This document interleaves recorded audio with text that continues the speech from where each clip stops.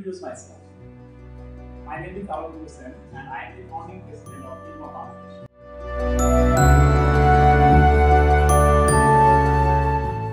Hello everyone. My name is Mohammad Saiful Islam.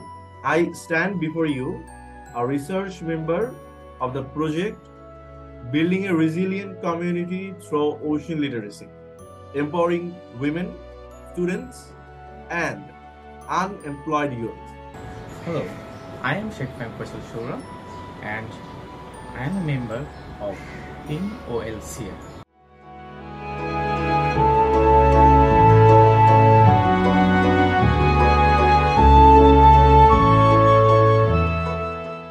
There is no doubt that our ocean is the most essential part of our lives. It provides us with food, jobs, and a number of ways to be connected with the oceans. However, the ocean is facing many challenges, including climate change, pollution, and overfishing. Our Ocean Literacy for Climate Resilience team working on the coastal areas of Bangladesh. Basically, this uh, coastal region is very vulnerable to climate change and we have 19 districts of coastal region. We aim to empower various segments of society with a particular focus on women, students, and unemployed youth. achieve our goals by partnering with the local schools, colleges, and universities to deliver ocean literacy education programs. We will also connect the local institutions like the environmental conservation agencies and the NGOs to make our program more effective. target to engage around 1 million people of coastal areas to literate them about the ocean. Basically, that means the ocean literacy for their excellence or for their survivability of the coastal region. We are excited to work with our partners, Korean Ship Foundation, to make this project a successful effort.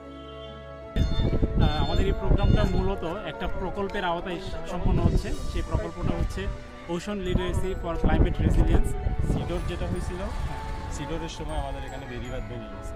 Beribadh Beribadh ভেঙে যাওয়ার কারণে দীর্ঘ সাত থেকে আট বছর আমরা যোগাযোগ বিচ্ছিন্ন ছিলাম। আপনারা যে রুটটা দিয়ে আসছে তখন এটা প্রায় পাঁচ ছয় কিলোমিটার রুট দিয়ে আসছিল ভাঙা ছিল। এটার কারণে আমরা যোগাযোগ বিচ্ছিন্ন ছিলাম।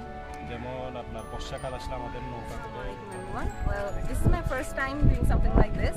যেহেতু প্রথমবার আমার অনেকদিন ধরে ইচ্ছা ছিল এই ধরনের কোনো কাজ করার কোনো এই ধরনের ভলেন্টিয়ারিং কোনো কাজে যাওয়ার And যেহেতু এটা ঘূর্ণিঝড় পরবর্তী একটা ঘটনা মানে বা এরপরে এক- কীরকম কাজ হচ্ছে বা ত্রাণ কাজ হচ্ছে ওগুলো নিয়েই আ, মানে কাজটা হচ্ছে। সেক্ষেত্রে দেখা যাচ্ছে যে ওখানে মানুষ যে শুধু ত্রাণ নিয়ে কথা বলতেছি বা তা নিয়ে না তার জীবনযাত্রা নিয়ে কথা বলতেছি তার উপর কতটা মানসিক এবং শারীরিক এবং আর্থিকভাবে সে কোন পরিস্থিতিগুলোর মধ্যে দিয়ে যাচ্ছে যেই দুর্দশাগুলোর মধ্যে দিয়ে যাচ্ছে আমরা ওগুলো নিয়েও কথা বলতেছি। সেই ক্ষেত্রে আমাদের যতখানি তাদের প্রতি কানেক্ট করা যায় পুরো ঘটনাটা আমি বেশ এনজয় করছি। অবশ্যই একটা অন্যরকম অনুভূতি ছিল যেহেতু এটা প্রথমবার। যখন প্রত্যেক ঘরে ঘরে আমরা তাদের তথ্য গ্রহণের জন্য যাচ্ছিলাম, মনে হচ্ছিল যে না, আমরাই তাদের, প্রত্যেকের চোখে মনে হচ্ছিল যে আমরা তাদের জন্য একটি আশা। এবং এই তাদের চোখে আশা দেখে আসলে খুবই আনন্দ হচ্ছিল যে আমাদের শুধুমাত্র আমাদের প্রেজেন্সেই অনেক মানুষ নতুনভাবে বাঁচার জন্য যে লড়াই, সেই লড়াই করে অনুপ্রেরণা পায়।